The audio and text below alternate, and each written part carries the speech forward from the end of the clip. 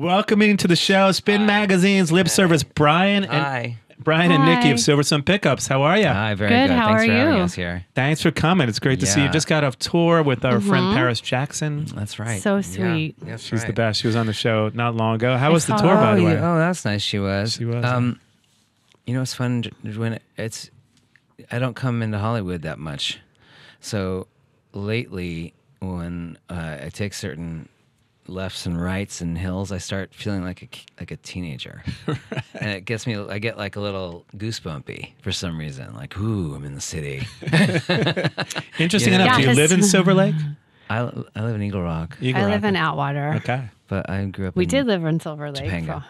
so- I'm an LA guy. I like. it. Yeah, Okay, so the show is a little bit about the history of the band. Obviously, six Mm. records in, sort of like this is your life. We can get into all kinds of pop Sure, culture. you want. We were just talking about The Last of Us, by the way. Oh, man. one of Mm-hmm. the greatest shows ever on TV. Well, it's just uh, we have little hangouts, and we've been on tour, and we came. I came back, and my wife organized a couple of friends. One of my friends actually worked at Naughty Dog, the the who invited me to when they were making Last of Us twelve years ago. I got to go to the the their offices and look at it a little bit. Amazing. I was a Video, fan. yeah. I've been a fan since then, and um, it's it's it's, it's hard to convey to people who don't know anything about video games uh, that you just experienced one of the best narrative experiences of your life. And the second one, buckle up, everybody, because Last of Us Part Two is insane and narratively uh, just so daring and so upsetting and wonderful. So for them to make this show and it be so close to the actual creators of the game, and then the person, the head Craig Mazin, Amazon, I think, who's a huge fan of the game, to see it actually playing out and having people around me that I love experience what I experienced in the same fashion is so exciting. How close is it to the original script? exactly, Exactly. exactly. Yeah, the Even end- the love story that on like the third episode, everything is pretty that true. no, that's hinted at. That it's it's almost like everything's expanded. That's a little changed, but it's all in the same vein of it. Like that. That's more because you are Joel and and Ellie, mainly Joel.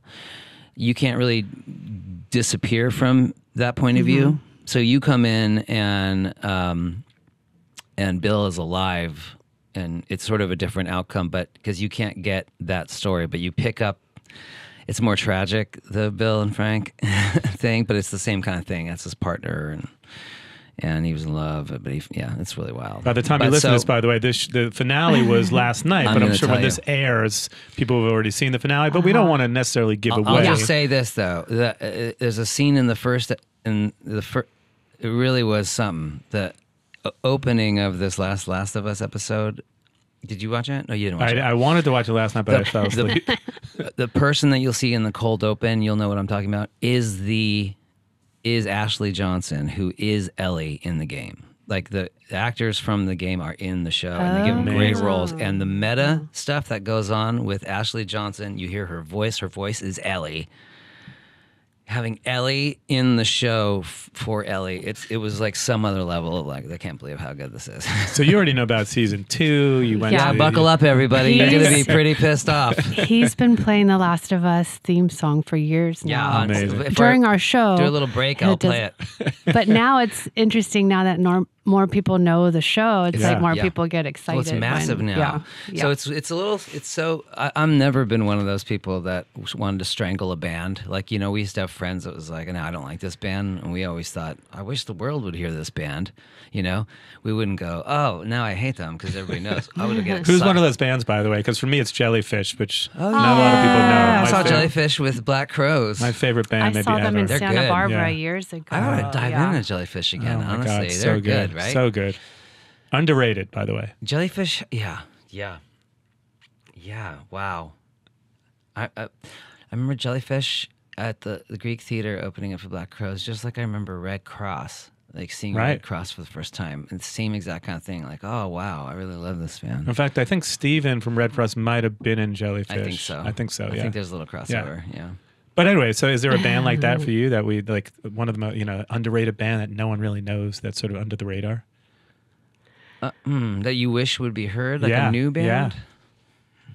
yeah. as I was opposed to thinking when you gatekeeping said them, I guess. Right? Radar, like- like Radar Brothers, are Oh, friends okay. of ours that Sure. I always thought were the best Well, band. yeah. They're my favorite band, and I and Yeah, I back in the day, there's probably Yeah. a bunch. I think Sparklehorse. oh is- yeah, great I, I, band, I think Yeah. that's an interesting legacy that I don't see. Like we were talking about that. Modern bands, there's still time, you know. So I don't have that kind of relationship with it. Like, oh, I wish. I always think like. m- I hope people, many people hear this, but they still have time to, To be on reach the it, rise, whoever they reach. You know, yeah, yeah. It's not, it's not like about successfully being popular. It's just more like you want people to hear art that you like. Yeah. And if you know if they don't, whatever. But it's always exciting to when they do. But bands that I think mean, about was- that had huge impacts. I always think about ones that have huge impacts, but I don't hear that much. And I always think about Ten Thousand Maniacs as one. oh yeah, I just think, wow. When, every time we play that, like backstage, when we made those mixes and stuff. Right, Every time a right. 10,000 Maniacs song comes on, people react. Either Right, A, they ask me who it is Yeah. because they like it, or they go, I haven't heard this in so long. And I think, how is that possible? Like, where where are they? Yeah. Well, what, where is that in the ethos, you know? They were pretty huge though for moments. Huge. Yeah. Oh, they had were. a huge unplugged. That Yeah. was like one of the biggest. Divinyls is another band I think about that everyone knows I touch myself, but Yeah. they have su- she's such a good singer. Yeah, she's great. I mean, it was great that Sinead um, O'Connor. Kate Bush came back to such a Yeah. forefront. Not I've- that she was underrated, but that she That came became so popular again. Yeah. So, Yeah, she was rated, I guess, in my mind, but I, I guess I never would have assumed it would have crossed over that large. But then you think about it, and in the way kids take music now, they don't care when it was made or Uh-huh. like that. And so you're gonna. It's almost unfair of every single song in the world on the popular radio to go against. Running up that hill because you have no chance. I wish I owned the publishing to that It's song. the coolest song. It's one of the best songs of all time. But yeah, I love the fact, by the way, that you love pop culture, Brian, because I feel like we could speak about the. I know that you're into Black Mirror, Fast Oh, and yeah, I the love Furious, Black Mirror. Harry Ooh, Potter. He's There's so on much- Fast and Furious. I'm for Fast and Furious is more like a funny. Yeah, People explain that because we it was a uh, it was like a, almost an art project that our friends and uh, Christopher, our drummer, and our friend Mike from England and Hamford, like we just decided to. We were sick of everyone telling us that people that we liked that those were decent or fun, and we thought that can't be. And so we just made ourselves watch them all in three two days, and it started grim because they weren't fun. and then they, and Then they some- got their own jokes. something then- happened. Well, The or at least Rock shows up. And there's something fun about The Rock knowing this is so stupid and he's winking and it becomes like real stunts that are actually pretty amazing. And there's also something fun about Vin Diesel thinking this thing rules. right. And so watching them him not get it is something else. But I will say we felt dirty after. Like we felt really weird. Like we all woke up after it was all done and looked at each other like, "Hey, you all right? Yeah, I'm good. Yeah, we still we had fun. Yeah, yeah, it was fun. Yeah, yeah, ride or die. You know." I'm going to blow your mind. There was uh, a period of about, I think it was about 10 years ago. I had a company where we managed actors out in LA and we managed Gal Gadot. Ooh. Back when she was Oh. in The Fast and Furious. She's the Uh-huh. best. no one knew Oh, we- that oh, this we was did. Yeah, gonna, he kept We did. talking about. I, we didn't know. We And did. God we, bless. We right? were like Gal Gadot is Gal Gadot and Han. Yeah. We, those two were it. The men, the amount of backflips they had to do to keep Han in that, like the timeline of Fast and Furious, is so funny because every every At some point, it doesn't seem like it matters. They're like, no, you know, it you doesn't. get But it is hilarious because he's they every single movie they're like, and then he's gonna go to Tokyo where you assume he goes get killed, but then they go, oh, next when he comes back, he hasn't quite done that yet, and so it's like we're all in like 2002 technology. It's another ride at Universal. my s- I just took my son to Universal Studios. He's seven, and he's went. You know, the Fast and Furious ride is something that you have no choice. You have to just be on Yeah. because it's a part of that. It's part of the. Um, it's part of the tour. It's part of the tour. My son- Love the tour. My son's just like, what is this? Like Fast and Furious? Is, is it just dancing girls? And like helicopter? I'm like, yeah, I guess so. Is Jaws still there? Or they Yeah. need to redo he that because that was really looking a little I bit think cramped. King Kong is gone. Yeah, though. no, Right. King Kong's King there. Kong is he, still there. I he was really excited about King Kong and Jaws because he loves the Jaws music. But Jaws wasn't looking too realistic the last time I went. It looked Was a it little. looking the first time you went though? it looked like they needed to redo it a little bit. A piece of me feels like that's part of it. Is Yeah. that- Yeah, because he thought it was. I think it was palatable for my son that it was so fake. Yeah. and that made it fun. You know what I mean? Because if it looked real, it would have been scary or something. Yeah, if it looked real, it wouldn't be Jaws. It would be, Yeah. it would be uh-huh. like, right? It would be, That's how Jaws Something- looked in the it would be movie. a great. so- It was just one of those, like the Meg or some weird shark movie. Although to be fair, back when I saw it years ago, I, I thought it was real. I mean, it looked real to me. I never so- thought it was real, but it, was, it, did, it didn't matter. Yeah. Like when I, I, you knew things weren't real. Like my friend's father, when I was really little, was a now now that I'm older, I understand. Like he's a working actor. Like you know, he had he he made a living as an actor. He'd show up in these weird movies like Masters of the Universe and play a lizard and stuff. play a lizard. and he'd do the voice of Snoopy, you know. And um, he played the wizard in this stunt show in Universal Studios for Conan the Barbarian. sure, I went to that. Yeah. So we got treatment. We would get backstage and see this dragon sitting down here and see like Red Sonja walking around and the guy who's like, you know, Chippendales dancer playing Conan. And then they'd scratch our heads, you know, little kids. And even though I saw all that, you know, and I knew that guy, when we'd get up front and the show would start, it didn't matter to me that I knew that it was fake. It was still representing things that Yeah. were freaky. You still believed it. Well, it's just like, ooh, you know, like you knew that shark wasn't real, but it was scary still. We could do a whole podcast on Universal Studios and the history of it. It's fascinating. It, it really isn't it? is. It kind of is. Like it is. it is really strange, and they're they're doubling down on screen rides. Like I have to close my eyes so much on a ride, Mm-hmm. like it's sick. Harry Potter. I, I got to revisit it at some point. And now, word from a new friend of the show. Fellas, do you feel like you might want to spice things up in the bedroom? Blue Chew tablets, just for fun, will bring that added spice and fun back into your bedroom. What's a Blue Chew tablet, you say? It's a chewable tablet with the same active ingredient as Viagra and Cialis. The difference is it costs just a fraction, it's delicious, and you don't have to deal with going to the doctors and having that awkward conversation with them. It's as easy as going online, speaking to a medical professional, and they send them your way. Use my code, that's L I P P S LIPS, for a free month supply. Just go to bluechew.com. You pay only five bucks for shipping. Do yourself a favor, bring the fun back in your bedroom. And now, back to the show. Take me Yeah. back to the beginning of the Yeah. band, the early 2000s. Well, we met at Universal Studios. What about the time we the car was open from Back to the Future and we got into it when we were playing the uh, a show there? And well, we our were- friend Mike was in town too. We did this. Didn't we talk about this comedy Bang Bang? maybe. I think so. Where, where our friend Mike from England is in town. He's not a stranger to Los Angeles, so he knows that you know it's not, uh, uh, you know, it, it, it, uh, the myth and stuff. It, it- some of it is there, and some of it's not. But th- he flew in, and we were playing Universal Amphitheater, which was where Hogwarts is. yeah, right. And he just landed. and He wanted to come hang out with us, and he, uh, very in an LA way, he just thought this is hilarious because a just random Back to Future DeLorean is in the parking lot because Universal is just like I don't know, put it there. Yeah. And it was we just opened it and we're hanging out in it. and we took pictures. And it that's was how a- the band began. It was I a was full that's working how it day. began. Yeah, yeah. And that's where we said, let's do this. And we went 80 miles an hour. Um, Actually, the legend goes you actually met, both of you met on a plane. yeah, pretty much. In a way, yeah. Yeah. we did. Yeah. Nikki Going was- to uh, England, we're both a part of this uh, exchange program in Mm-hmm. Cambridge, England, and then now here we are. You were from. She was in Orange County. It was a real. You know, it was a real uh, Capulet and Orange. You He were a kid from Orange County. I was a kid from The Los Valley. Angeles. You were stealing liquor, maybe. there you, was yeah, some but liquor Nikki was involved. taking s- bottles well, of at alcohol. the from time, store. we were under 21, so it was an international flight, so they were giving away the alcohol, but not if you were. For the purpose of this podcast, Yeah. you were 22. I was 22. Yeah. Yeah. yeah, okay. you were, you were. Well, no, it was international waters, International, you can be 18. Right? Yeah, and you were. Yeah, you didn't get. You weren't given any because you were taking. I took. Yeah. Your little hand kept reaching out, and I just thought, oh, that's an interesting person. you know. So you meet on this plane. You're stealing some Mm-hmm. liquor. we were basically a part of this an interesting moment in life that I think ends up being a very big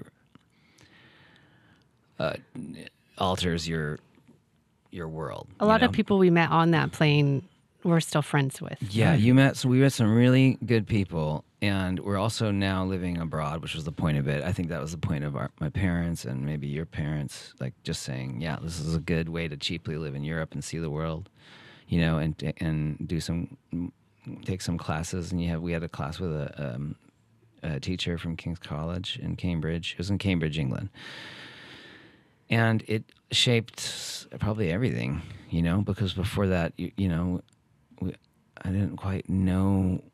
Were you Anglophiles? Were you into British music growing I, up? Yeah, or- I, Um, I knew. I knew.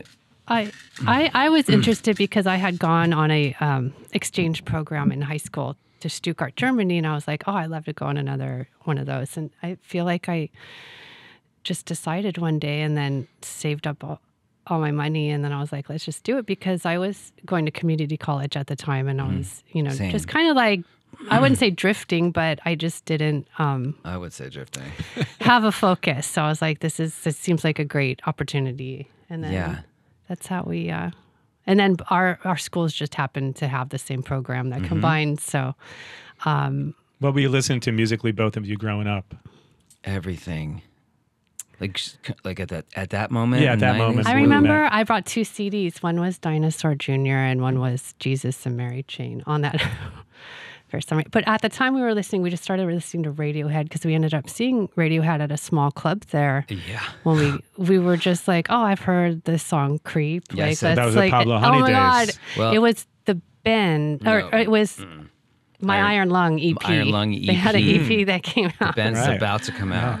By the way, back when they were a rock band, because then they went a little electronic. Well, It for a while. was It's the same. It was. Yeah. It was the same. Like It was any- mind-blowing. Anything that happening now with radio, like when we see Radiohead now, it's the same. It was exactly like seeing that band in that 200 person club in Cambridge before the Bends. Like whatever magic, it was there. Just you know, it was. We were just. I couldn't believe it. Yeah. I couldn't process it. It was so good. I still consider those two records two of my favorite records of all time. I mean, I'm I'm a big okay computer. and- Yeah, I'm a big fan of them. The smile. We just saw Yeah. them. It's like, man, Right. it's just, just Jonny Greenwood looks the same. yeah, he but does anyway, Cambridge is like a, a pretty small town uh, surrounded by the college, more like a New Haven, Connecticut kind of vibe, which is perfect for us to run around and Has borders and things, and then London is about a 45 minute train ride. So it's just all of a sudden we're unleashed here. You know, and you, yeah, I wouldn't say I was an Anglophile, but I loved a lot of British bands. I think at that time I was Yeah. a real big Lush fan. You know, um, Pulp and all those I bands. that love Pulp Yeah. later. I think a Pulp I got later, Uh, but um, Val- My Lady Valentine Yep. and I love PJ Harvey. PJ. Harvey. Hey, did you see Oasis? No, I wanted to at the Yeah. Cambridge Corn Exchange. You were a big U2 head, though. I remember. I did like U2. I and they were yeah. they were a hole in my. I didn't know them, but we laughing because Nikki said she was going to go to Ireland to go see them, and she went to their restaurant and she did I see did them. see the Ed. She was so nice. I'm like, By the way, the nicest guy. I know. Nicest But it's guy. cute that he was at like their restaurant or Yeah. That's at their like, hotel or whatever. I'm like, oh my gosh. She went to Ireland. I saw them. I don't want to name drop, but I did have dinner with both of them once. I don't think Bono said a word to me, but the Edge and I spoke for like three hours, and it was Aw. incredible. I don't know why I didn't connect with Bono. But Careful what you wish for. hey, listen. At the time, you I connect the to who you connect. You get what you get, and you don't get upset. That's Yeah. I think the Edge's daughter was working for Apple at the time, and I was like Oh, asking him all these oh. secrets. I was like, "Do you think he could tell me about the next iPhone?" He's like, "She doesn't even tell me. Like, I'm her yeah, dad." I don't so- think she knows. I think she- I think she's Nobody loud. I knows. think she'll evaporate. But anyway, so you went to see U2, you meet, and then all of a sudden, did you feel like there was a kindred spirit, Friendsh- soul thing going on? friendship. Friendship. Yeah. Yeah, We became- his his exchange mom was the mom of my exchange mom, so there was a little family. Well, we just stayed thing. close, you know, Yeah. stayed friends. And then when we all came back here, it was like being ripped out of Neverland. We were just at home, and and we all had, you know, I was like living with now my girlfriend at the time, and now I'm back at my house in Topanga, and it's like, what happened, you know? And then uh, when we start migrating out of our homes, we all sort of start living together. And at that time, Silver Lake was very cheap and full of bands and full of art. And that's where we uh, migrated. And we lived in a house together. And even the name came a little bit from like a run to an, you know, like a liquor store. yeah, right? we So- lived above the Silver Sun liquor store. Um, and when we started screwing around making music, we needed a name, and I remember at the time I liked the idea of Beachwood Sparks and things that had a little bit of a.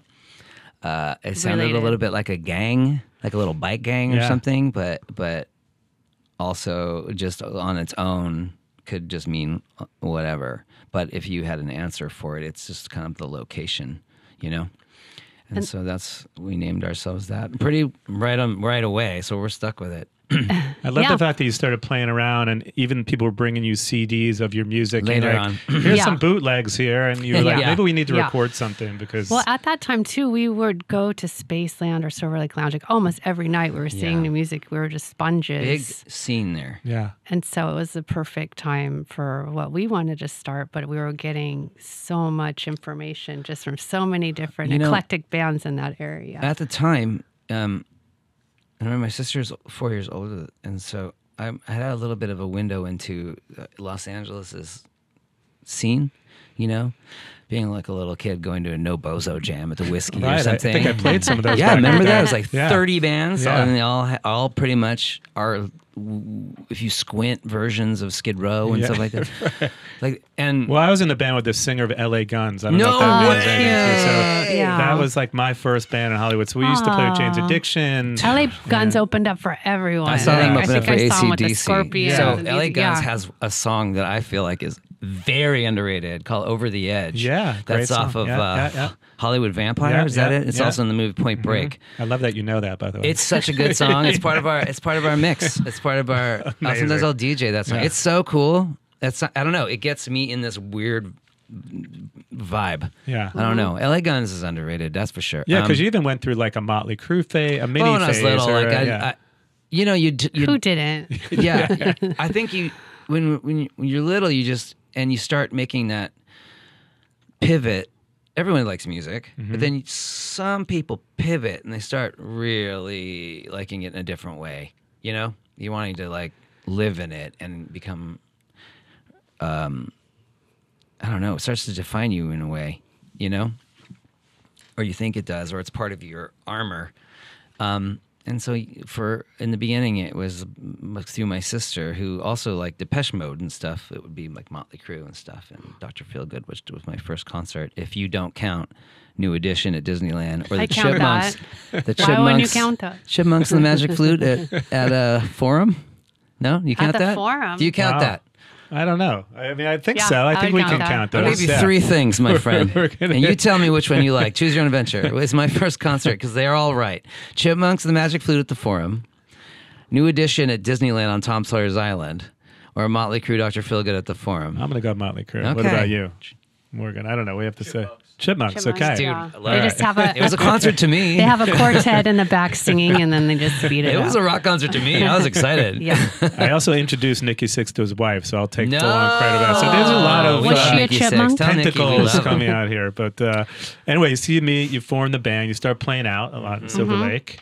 And then early on, I, I love the fact that you were sort of fighting what was going on. Because you would get calls from labels, and even Q Prime at some point called You're like, "Yeah, let's put Oh, this. we Those people can go to know. our we voicemail, just, right?" We just didn't. It was hard for us to like. We were so lucky to be thriving, like be doing playing shows in this area in Los Angeles. And again, kind of talking about before knowing about LA. It, at this exact time at that area, it was very and not uh, consciously. It just was. Los Angeles has a very strange, weird, rigid scene that is w- the clubs are outdated in their ideas. It's all like this I, this thing that's not even like around, and there's pay to play and they're rude to bands and this goofiness that really just cuts out anything interesting. And then of course, all that does is leave this vacuum for everything else to be able to thrive in this part of Los Angeles with which was like the eastern part of Los Angeles, right? So there's all these ramshackle clubs everywhere. No pay to play, none of that stuff. And the and the community of people that live there who are not playing music are people that go to those clubs to hang out, like the Friends Yeah, they- Coffee House Yeah. They'd and always bands have are just nights. there. So they start just recognizing and knowing songs just by going to have drinks with their friends. You know what I mean? That was around the time of Elliott Smith, or a little bit Yeah. earlier. That, Yeah. that was probably around the time. Yeah, Yeah, we right saw around. Elliott play a bunch in just like little shows. And so like there's this But the club promoters, like they had these great like residencies and free nights. Like Free they just were trying to get people down, and so it just And then became people this would- place where everyone would go. people Yeah. would eat at coffee shops that had your your band poster on it. And so it just became this little and then Community. Indie It oh was a 103 was around, yeah. you know, and KXLU obviously playing stuff, but you couldn't really get it. And so we're like, but Indie 103 would spend a sliver of their time playing local bands like Giant Drag and or Micah's band. And so all of a sudden you, you have this almost like a-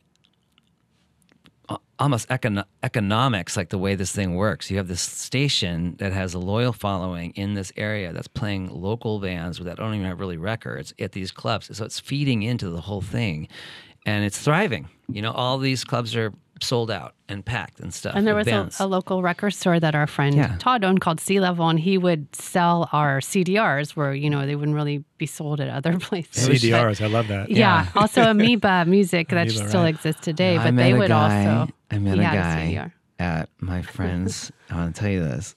At my friend's, at my my son. I guess my friend's Uh-huh. kid's birthday, but my son's friend's birthday, a birthday party for Yeah. our kids. And he it was so nice. He does a bunch of music, and he was like, "Yeah, man, hey." I remember you, 2002 Sunset Junction. I have your CDR. Oh, yeah, I remember. We had, And he's explaining the me the palm CDR. tree It's CDRs. like, that was so Yeah. amazing. I was Is that like, the one how- where you used to put videos in there too, or because there was one like CD we didn't that have you that could, technology. I don't are think we had any videos on that one. So anyway, we were just all of a sudden playing music and and and uh, playing shows and trying to f- figure out what we were doing because we were just part of that community, and we, it was just it didn't occur to us to like sell anybody anything or or try and record. Or uh, we were so baby stepping, trying to figure out uh, what this was to us. Elliott changed that in our at least in my mind by him asking us to open for him in uh, at the Henry Fonda That was a uh, huge our, step with for us. Rilo Kiley, who Yeah. we were friendly with, then became more friendly with over the years. Felt wild, you know. because he's seen the band and he was a fan of I what think you were he's doing. just like he's a nice guy. Yeah. Like I don't know if even if it was like yeah he he just he was just not. We had friends in common. You know, I would never claim that we were close in any way, but he was a really lovely acquaintance. You know, he did. My friend brought. We would sing Stevie Wonder songs in my backyard and stuff. Like. It's just that kind of Yeah, vibe. He's yeah. such a sweetie, and so good. when he, you know, when he was on, he was on. Mm-hmm. But that was like what, and so we just did it best we could. It was the first time we heard ourselves in the monitors. Like It was it was just an actual sh- like It was just like let's Yeah. get It's a big show, by It the was way. a as your, big show, as- yeah. one of your first shows. Well, it was one of the first big shows. we Yeah. yeah, we've we been were playing playing shows for like four years. Oh, but- four- okay, No, so Or you- we got no, together I in would say that. 2000. When was that? Uh, In two was 2002. That was 2002. Yeah, so I think Okay. that was about two years in. Your first big show, we would Yes. say. Yeah. Uh, easily. Yeah.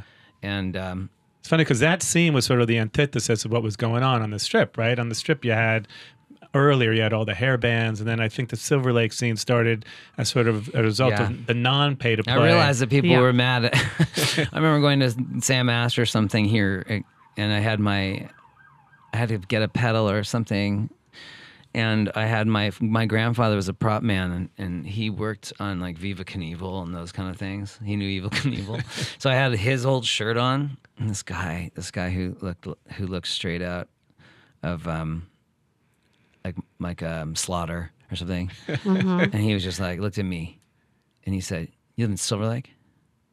I said, "Oh, you said yeah, I do." He goes, "Yeah, you look like you do," and I was like, "Uh oh." It's almost a fist fight You're with so the mad. I was like, "No, we're not at war with you, man. You guys, you guys have held the gate so long. Yeah. Keep it." But it was Like, a big trek to come out out out to uh, we used to always joke about West Silver Lake that we like these bands. It got to a point where bands from Hollywood were punching and beating each other up to try and get a gig at what when they walked into the Silver Lake Lounge went, What is this? Is like, where's the stage? It's like, what did Yeah, you want? This it's is what the we do. We're barely in stages, you know. It's funny because back then, actually in the late 80s, there was a bunch of clubs, a club called The Scream that I used to play at a lot. I Del heard, Gloria. I've heard a lot about that one. Yeah, that that was sort of the Silver Lake scene. It was Yeah, another, yeah. that was before because you had that one, you know, the Sunset Strip scene. Then you had Mm-hmm. The screaming you had at the Park Plaza Hotel downtown. Jane's Addiction, a lot of bands played there. Yeah, but uh, but early does it feel like it's been 22 years at this point? Does it feel like it was yesterday? It does still feel like yesterday, but you know, I don't think we would ever thought, oh, we'll still be playing 23 years later, but Or think we that are. We never thought like what, you know, we're just doing it. It's about the and present. time has passed and here we are. present tense. Yeah. is Yeah. what it's all sort of about. You know, and that's basically uh, why you make records, right? Yeah. It's not about what happens after. It's about what you're doing at the moment Mm-hmm. and shows. That's why shows are so fun, Yeah. right? Because it's like, what is this one going to be like? And that's why I like attending shows, and that's why I like playing them because I'm like for about four, an hour and 45 minutes. What this is gonna exist and it'll never exist again. Yeah. and we're all part of this thing, and and it keeps you very present tense, and that's what it's about. So we, uh, to think about for us, it was very difficult to think about f- the future, which eventually we did, like you said, because hearing a bootleg of you meant that people want something, and if you, they do want something, it shouldn't be this. Yeah, it's funny because when you you actually recorded Lazy Eye, I think people said you, hey, the demo version Yeah. was maybe Ah. better People than had the demo record at us. version. Oh, well, we People got always advice. will. They- Yeah. People always give advice. That's my advice to bands. When people ask us stuff, I always say, hey, listen, if you're going to get advice from people and just smile and be like, okay. And just Yeah. go, just don't think about them. And if people get rubbed the wrong way, that's great. Like, you totally don't want to, you want people to feel off, put off by you. Because then They you're can doing like something. Then they you're can doing like something. the demo. I Yeah. like demos better sometimes of band, just because it's like what's Oh, our where, demo- where your heart's at. Yeah, You're like, first oh, take. Oh yeah, our demos are definitely better. No, I was kidding.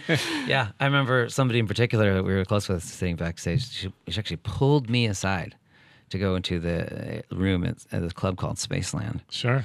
and um, she heard uh, our version, uh, our first EP, Pikul, it's called, and has a song called "Kissing Families" on there. And she, after the show, made it a nice person, made it a note to have to pull me into the room to tell me that we ruined it, and it didn't hurt me. Who was that person? Oh, she's nice. it didn't hurt my feelings because I just got so much of that that we were just like, uh-huh. whatever. Like, I don't know. I, we would get, we would take advice from people not in the way that they thought. Like, we would watch them operate and go, no, dude, this is like you're.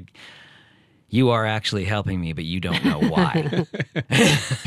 Even early on, you signed to Dangerbird, and I'm Yeah. sure a lot of people Mm-hmm. said you, you know, go with the major because you're going to go with a Oh. small label. What was your thought process there early on? Um, I think that uh, with a more major label, they would have taken more from us, or just Dangerbirds, like we'll give you all your publishing, which is actually what they should do. You know, Yeah. like, but it it just uh, came together at that time where they we we liked what they were doing, so we decided to go with them, and they were local. And not, I mean, we've always been about like help like doing things within the community um, and being local so it just seemed to be the right thing at the time Yeah, we didn't really have a lot of examples where we thought that that would work. You know, um, um, we thought they would understand you know they'd I- understand it just us sounded too. like a death sentence. You know what I mean? Uh, honestly. And Nikki worked at Warner Brothers too, so it was sort of Interesting. like I'd see it. You never Yeah. thought about Warner Brothers as a No. potential. oh no i mean people from warner brothers would come to the shows as friends you know but i didn't i never like was pushing us to be that because i It I just seemed like imp- we just didn't seem. we were never trying to sell ourselves to other people we were just Yeah. trying to like make something that we were happy with and And it just when we would, it's not like they were coming knocking, but when they did come knocking, it was always like, "There's something we can do with you," you know. Not sure what it is yet, and we just wanted the free dinner, and, and just thought we're not going to do anything because honestly, we're not capable of taking. It's like, it's not even like, uh, we're not. I don't mean any offense to you, major label. I just mean, I think you wouldn't like working with us because we are go, oh, that sounds cool, but let us get through this first because this seems to be what we have to do. and if you told me how to do it, I don't know. Maybe we'll do that. I don't know. Uh, We but we can't literally take direction. Yeah. and we didn't want to get lost in the shuffle. We had had some friends that you know their albums Majors. were getting just- stuck yeah. up and things. Yeah, like Yeah. they were just like lost their album Oh, because I it was not eight- being put out. I just because- signed an eight record we- deal. Are you happy for Yeah. me? No, man. I'm actually very afraid for you. And then they're painting the, ha- you know how. The common misconception: the bands used to get these advances for Nope. whatever Uh-huh. two million dollars, and people don't know that they had to pay them back. Bad, bad, bad. So they wouldn't make Oh, money for yeah. years. Bad, but bad, bad, bad, bad, bad. but safe to say, by the way, when you got the call from someone like Peter Mensch and Cliff Burnstein at Q Prime, were you a bit skeptical because at that point they were managing the Chili Peppers and Metallica? Oh, yeah, we were very skeptical. Well, Yeah, I think we skeptical just- is not even the right word. didn't know. No, at You that put point, it to voicemail. at that point, things were really rolling along in a really in a way that was just so surprising. We were just touring and touring and touring, and things were getting bigger, but we didn't think about it because it was just so much of the same. Like, and it was hard. And we had somebody that we really liked, um, you know, or we just knew, and it was getting hard for us because we were really doing a lot of it. You know, we were really delegating most of the stuff that was just coming at us, and our, we were getting so exhausted. And they called, and we just thought we said no right away because thought same sort of thing like Metallica and Chili Peppers. I was like, what what is that? yeah, we No, had no offense to those things. It's just a different world. We didn't the see our- Metallica documentary, and I'm like, oh, they're so cute in that. Oh, Like, you did? Oh, yeah. The band of- or Cliff and Peter? Cliff and oh, Peter, I they're think in I it. did Yeah. know who Cliff Yeah. Was. But I, It's a great you documentary, know, by the Oh my god, it's so good. It's so powerful. Like good that Metallica actually put it out Yeah. because it doesn't always show them in the best light, True, and it's true, like true. really good. Um, but yeah, Well- no, it's looking. It's funny looking back now that we were like pushing them off. I'm like, oh my gosh, It wasn't they on were, like, a purpose. great- it's just thought like, what is that? You know. And then our our lawyer, who we've had forever, we love her. We still love her. And she, um, we used to just have little meetings where she'd write things on pizza boxes to explain it to us, like how the, Zen the diagrams. bizarre. Like once Yeah. things started to have to hire people, which we didn't understand what that meant. Diagrams of like, wow, this is How weird. it We're like, works. what? That's a weird. It's two hundred percent of that. Yeah, Pepperoni, Q Uh, Yeah, Prime. it was pretty wild. and she just said these they they are people that don't reach out, and at the end of the day, just meet them. And I'm very glad we did because what we thought we would meet is not who we met. We met people in a crappy office in Times Square. A guy had an In-N-Out Burger T-shirt with a stain on it, and he wanted to talk to me about all this cool music that he loved, and we lo- we immediately li- liked these people. Do you know what I mean? Yeah. No BS in any level. They're not. They don't f- fluff you up. Sometimes I wish they would. I think they're not allowed in our they backstage gave, anymore. they gave us each, each a, they gave us each a piece of chocolate when we signed. yeah, it was with just them. so. no free dinner. One No free dinner. Well, they probably did there's that dinner, too. but it was just Yeah. so. I don't know. It's the Cliff Burnstein, all both of them obviously, but Cliff Burnstein in particular, his music philosophy and ours was very great. I mean, honestly, eh, to the point where they've never meddled in anything. We just have never had people meddle Yeah. with us. Uh-huh. Uh, they, it's they just don't. Or, or, and I think it's maybe because we just can't be, for good or bad. It's just gonna come out this way, you know. The only and and um, they just leave us be and just want to know that we're. Are you making things? Cool. We'll hear it when it's When done. it's done. Like Yeah, they don't no. even want to hear it No, they don't, during. not They're really. like, don't They- send it to us until. Well, they'll hear it to know that we're Doing something. doing it. but other than that, we just have so much freedom, you know. And I think it's more like they just recognize that's how we operate. Yeah. And again, I think it's just because we don't know, we wouldn't know how to accept any outside world.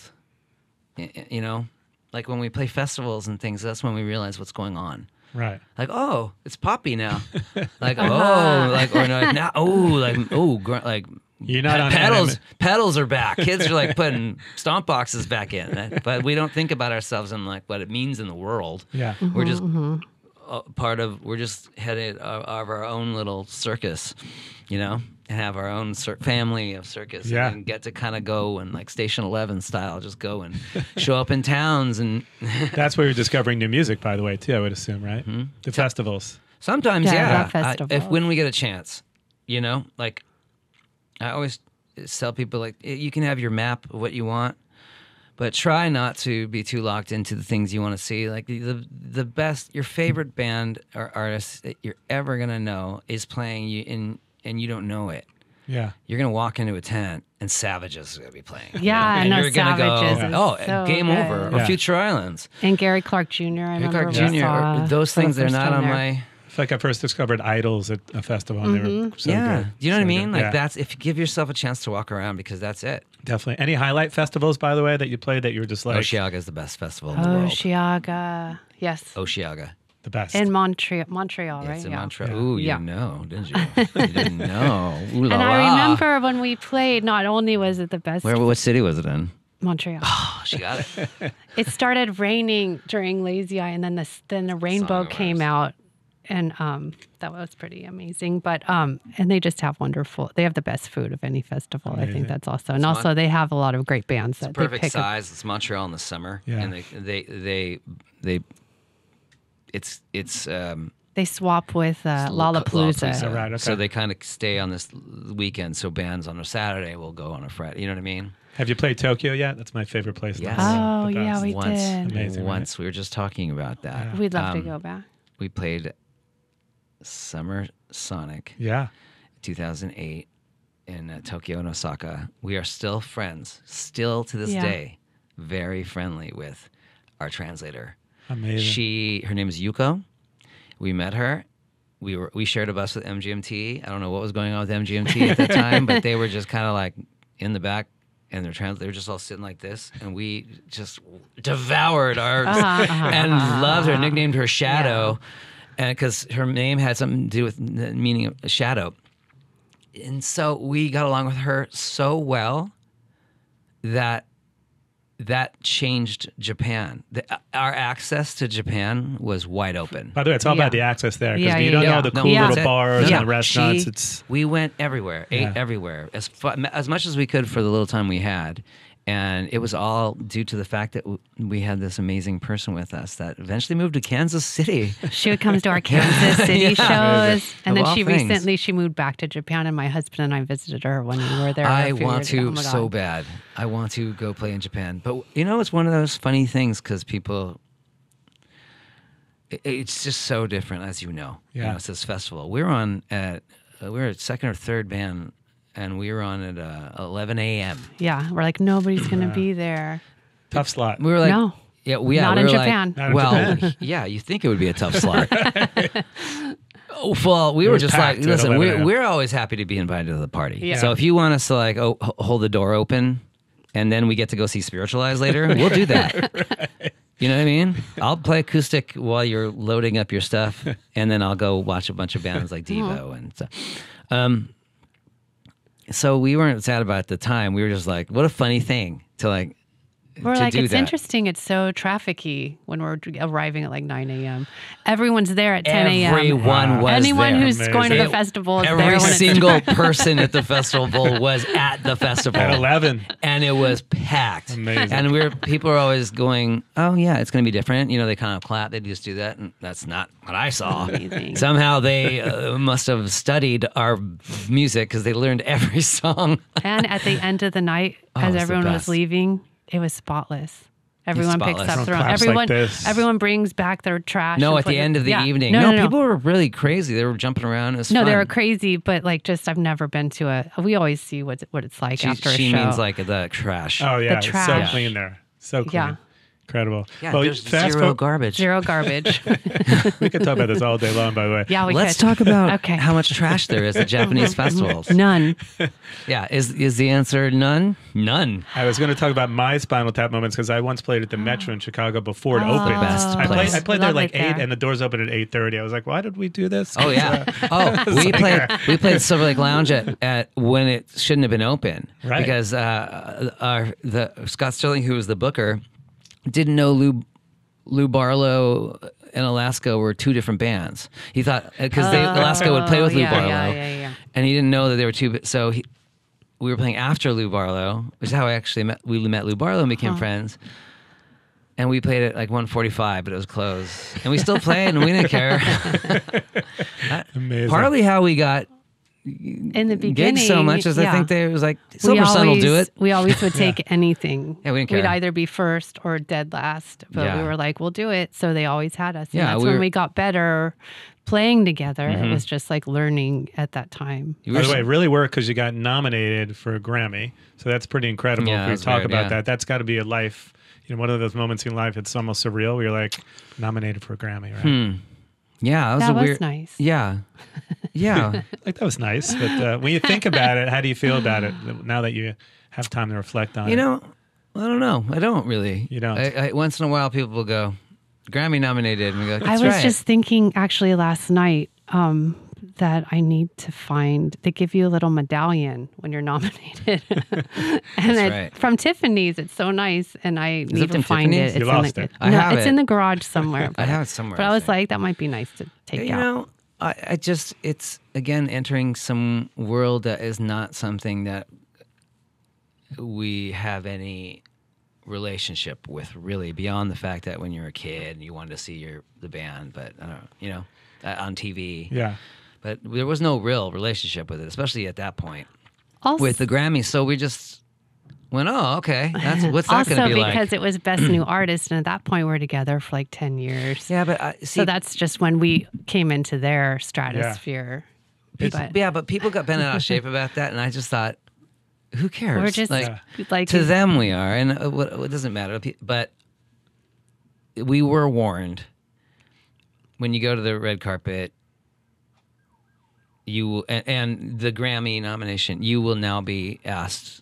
Dumb, the dumbest things. Like you are now going to get some real low common denominator. Yeah. Like, who's your favorite Hollywood crush?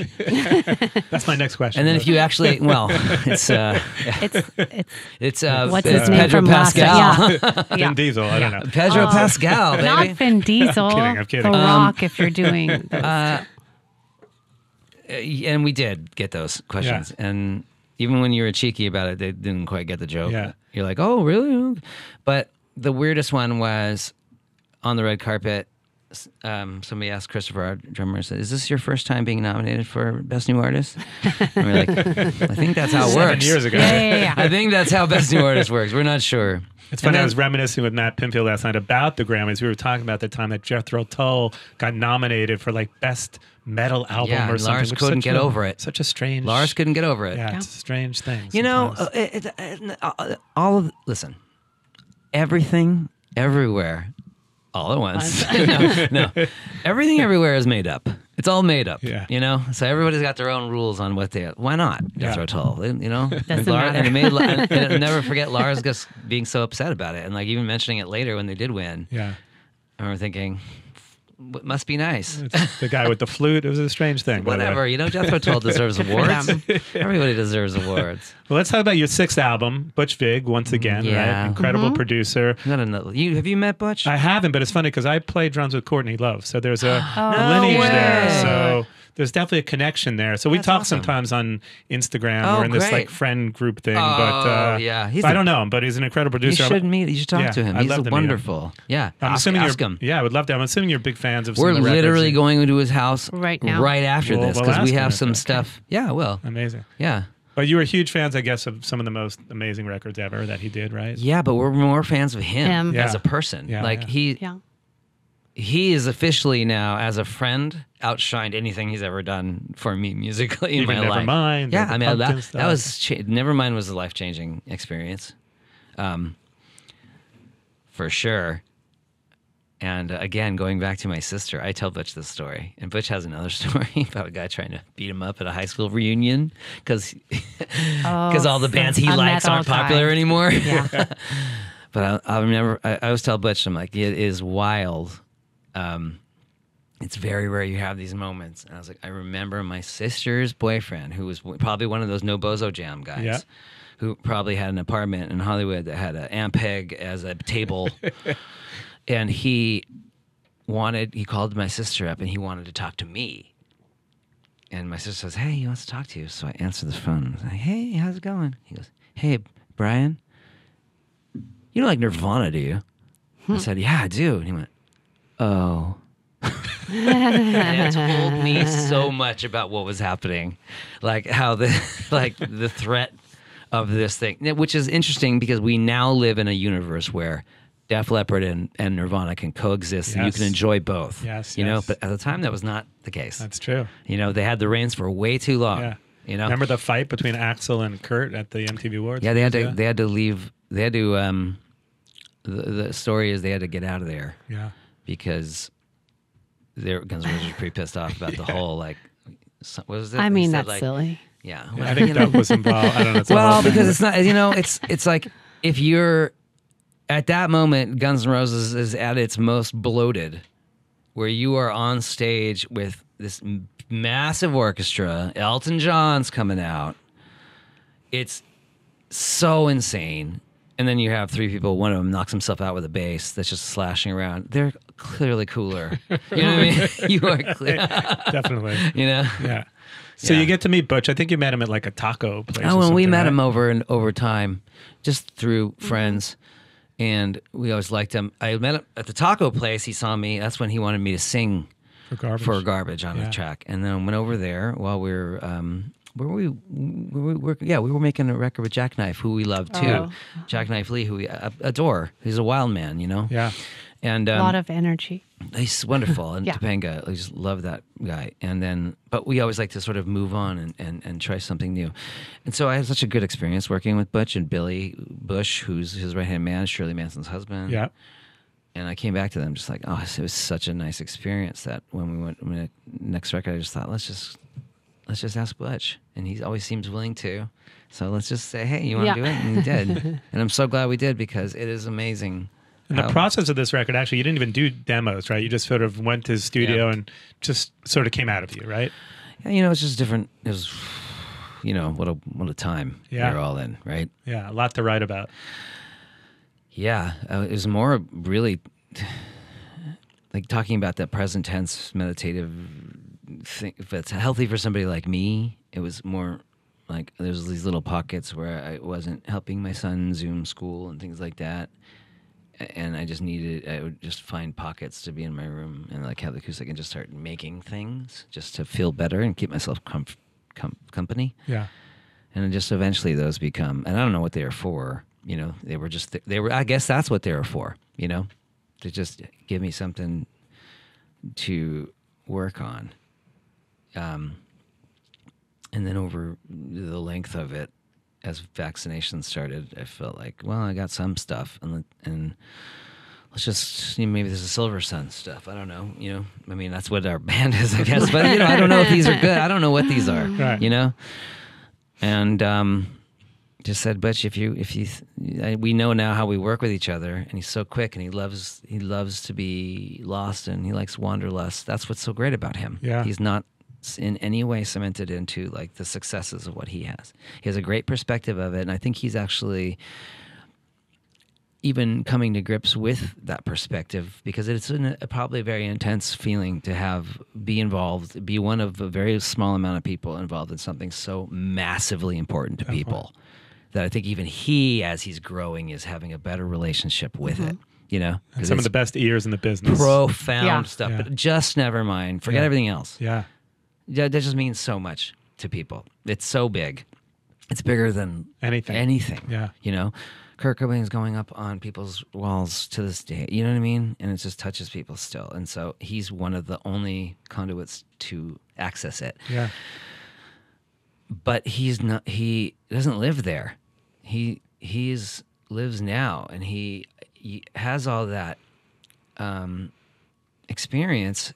But it it's just another way for him to get lost where he feels happiest. And that's where we feel happiest. And so when we met and when he sees us and that when and I'm sure bands say that a lot but as soon as they gets down to it maybe they inadvertently put their safeties up. Well we gotta sound like this and this and that and this. And he met us and he, he realized that we meant it when we didn't know like we wanted to just see where this we want you know we want to get lost and get confused. And and he, that's the place he loves to live too Now, does he give you a lot confusing of butch guidance? is very fun Yeah. Does he give you a lot of guidance, or does he just let you do your thing and say at the end of the song, you know, sounded great, or is he in there really no he, he picking apart the songs? will he'll just he- he'll say he'll say something here you know and then we'll kind of go oh yeah he's good at like aiming you towards the corners because if you're if you're part of the like getting it out to him and the band eh, it's so hard like you know when you have it in your mind you play music right? So you have it in your mind. The getting it out of your mind to reality where people are going to now tinker on it it can be a clumsy journey. I hate the word journey by the way because I watched the oscars and i was like you everybody take a drink when someone Yeah, says yeah. brave and journey. Um, no, but uh, it, it can be clumsy, and with Butch, i he's so quick, and there's it, it- makes it's easy for me to get it out, and and I thought it would even be easier uh, if it was just like, okay, the band hasn't been vaccinated yet. I have, you have, you feel comfortable. Let's just start quicker. We're not going to demo, not going to do anything. We're going to come in and I'm going to play you these things on acoustic. What I think, how some of it very complete, some of it have lots of parts, and we'll see what happens. And he's fast, so we're going and going and going. And then it was uh, easily an album, like oh, so so much more. And I didn't, I guess I didn't realize it. I didn't realize how much was in there. You know, Happened fairly quickly for you in terms of the recording process. Was it? Uh, so quick. yeah.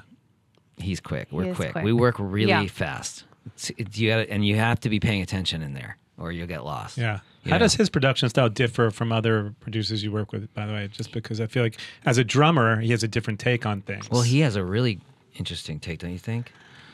Well, I think he he makes it a point to get everything out of each individual hmm. person. You know, he's not just like although, you know, he started with with Brian on this one, he's just just as curious to see what everyone else wants to contribute, which I think as a member, as you know, as a drummer in Garbage, he knows what it's like to be in a band and and and to. Uh, I think he's great at drawing things out of people, and for being such a, a, a fast worker, he's also the most patient person I think that we've ever worked with. Like he'll just wait on something and just have you try things multiple times in different ways, and he has a way of making you feel very comfortable and confident and just like never makes you feel like you're wasting his time, which is, I mean, works really well for us. Yeah. So, Because you kind of skipped the demo process for this record, but other records, were you actually demoing before? Or what, I mean, what was the process? Yeah, we started. I mean, honest, honestly, we there's only three records that we demoed, and and rough. Like we we don't we are not concerned with recording ourselves. Never really have been. We're not concerned with like how things sound necessarily. Like uh, a lot of times I don't have lyrics, but I'm a real good mumbler. he has Yeah. harm like thing ways in which he wants the, Like when we- the words to go once Yeah. the words yeah, I ca- come. yeah, because I like to play around with things too. Because I want to try and I, I like the way things sing out, and sometimes it's like You have good maps of where you want it to it's go. important to me that you know with with words i want them to have parameters because it's like uh, it's just i like the way this sounds so it has to be a word that has that thing it just has to you know for me um but um he is a like you said he's a band member and i think that makes him i mean and garbage now that we we know this now more than we ever did before is a functioning probably yeah. now more bigger Yeah. than ever uh, and he is a member of a band, a full working band, and he's one of a group of people, and so he absolutely knows where that comes from, and I think that makes it that makes it with the limited amount of producers that we've worked with, who are all wonderful. We're lucky. Um, that perspective, uh, especially for our, uh, Christopher, our drummer, is uh, I think what really uh, makes it special and unique. Even on Empty Nest, you're singing more, Nikki, which is great, Yeah. right? So, is it? Do you feel like this is? Oh, I think that he helped give me even more confidence in, in doing that. And I think Brian has always like encouraged me to sing more. And I think that I just like got some space to experiment more, which was which has been a really nice experience on this one, especially. Yeah, and the record's been out since I think August of last year. Now that you've had some time to sit with it, you have some favorite songs for the set list. It's got to be hard putting together a set list, by the way. You know- so many great songs. It. Well, This, thank you. you know, it was it was. It's hard to put together a set list because our songs are long, mm-hmm. and so. Nothing under four minutes. But yeah, people. it's so funny. People we play those radio festivals, which listen, like I said, we're happy to be invited to all, all parties. you know, it's and we're we're there to do our job. But somebody will be like, "Yeah, I can only play like ten songs. We had half an hour," and I went, "We played five. yeah. it was really weird. We barely played anything, and people are like, "Don't even think of yelling out a song title because that's already taking up time." No talking in between. This Yeah. this time, I think during the we got a lot of tour, uh, uh, local touring or North American touring.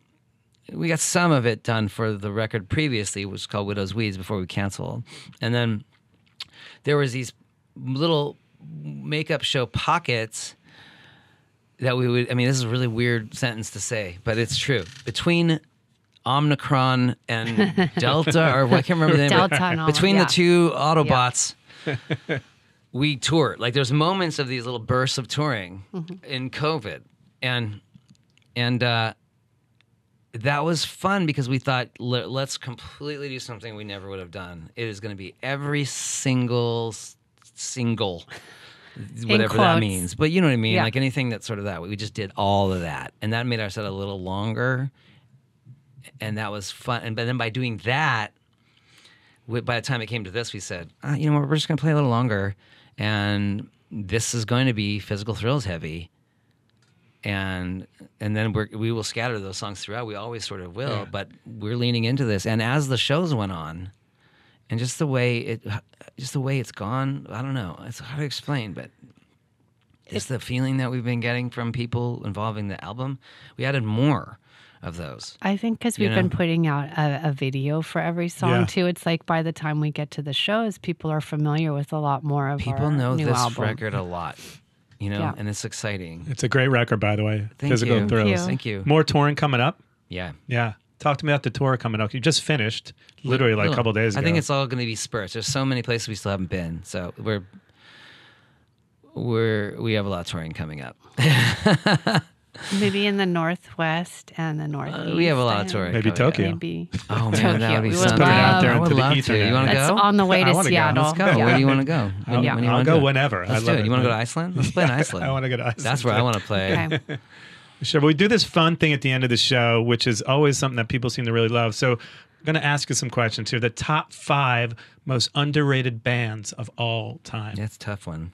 So for some pickups. You want you want to? Uh, Silver. Well, I no. mean, in We're in my mind, it would be bands that everyone knows that are great, but they just never got quite as popular as their Exactly. contemporaries Yeah. or something. Like, um, I mean, I guess I would say, s- but see, I don't like the Kinks. I Okay. feel Number like five, the Kinks. number five. We'll just go with that. That's a good one. And um, I mean, I still, like I said before, the Radar Brothers are one of my favorite. They have the one of the best albums ever called "And the Surrounding Mountains." So I would say that everyone should know them. Brian, number three. Ten Thousand Maniacs. Okay. I feel like that's again. uh, It's weird to me that when the people when I play those music, people don't know it and love it, or people go, "Yeah, where are they?" I'm Uh-huh. like, I don't know why this isn't being played all over the place. Still, you know what I mean? Uh, number two, the top five most underrated bands of all time. Radiohead, they really need a chance. no, Let's give those guys a break. Yeah, what's number two? Number I say two. Divinyls or Sinead O'Connor. I think we could say both of those because I think Sinead O'Connor got a bad That rap because record. there was so much other publicity with her that sometimes her music got lost in that because I think she got too big. That song was too big for somebody like her. Yeah, but her actual albums are wonderful and really innovative. first you know? record Yeah. is the punk rock. Yeah. She's so punk rock. And to the point on Saturday Night Live, that whole thing. Yeah. It's like what a Mm-hmm. what a bunch of garbage that is, right? So number one, Sinead O'Connor. I think so. Okay. Yeah. Right now, you know, Let's it's all that. about we like so much stuff, We're so it's like whatever, right whatever we're focusing Yeah. on now. This will change. But that's what I think. What was number two? Divinyls? Let's do Divinyls. Okay. Yeah, that's a good one. And last but not least, the top five Silversun Pickup songs of all time. Oh, and I know Nikki's. Ah, Yeah, you do know my favorite. Can I guess your number one? You don't have to guess it. You know it. Yeah. Yeah. Growing old's go- getting old Yeah. is your number one. I feel like we both got teary eyed on that one. I remember What? you got teary eyed when we listened to the mix, but I had just been Oh, when we I had it. just been hiding my tears because I heard it right before you got in, and then you started. I mean, it's weird to be teary eyed about your own song, but there's something special I there's think something about well, because that. it was it was that record was hard to do That was number yeah, one. Yeah, it took for you. Yeah, for you. Okay, for, For me. me? yeah. Well, number two. Let's go chrono. That was number one. Okay. So number two. Well, it might be a co number one. So, Barbara. I, li- I'm a real recency bias.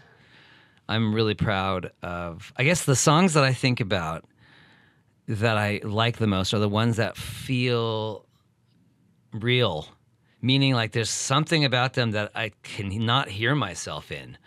You know, I can actually, as close as I can, judge it on, on its own, which is impossible really to do. I have no clue what our band sounds like. I'll never know we're like live. You don't Google the band. Nothing. No. Uh, well, I assume this is what I assume. We're the greatest band in the world. We're the worst thing that's ever happened. I don't need the internet to tell me. I, I just exist like knowing that that's probably how it goes. If we're like anything else in the world. I re- at a show recently, I was like, I wonder what this sounds like. yeah, I wonder what we do. Sometimes you ever trip out like, I wonder, Wonder who what we are. what are, what are you watching? You know what I mean? What what is this? You know? Do you right, know my, two. do you know my Number son two, made that T-shirt? He's seven. Oh, Um, Number two. Silversun Pickups of all I'm time a big fan of a song called Sticks and Stones.